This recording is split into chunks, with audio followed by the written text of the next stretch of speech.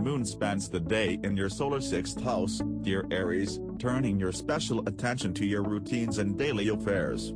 As much as you'd like to keep up the organizing momentum, you may experience a short dip. You may not be seeing eye to eye on basics with someone, but it can be fruitless trying too hard to present your case just for now.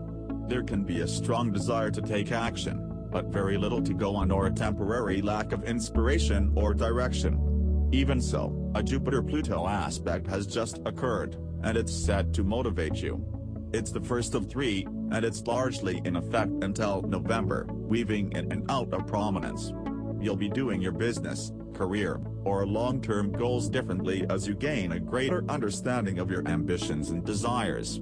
You may be striving toward more authenticity in your career or through your life path and direction.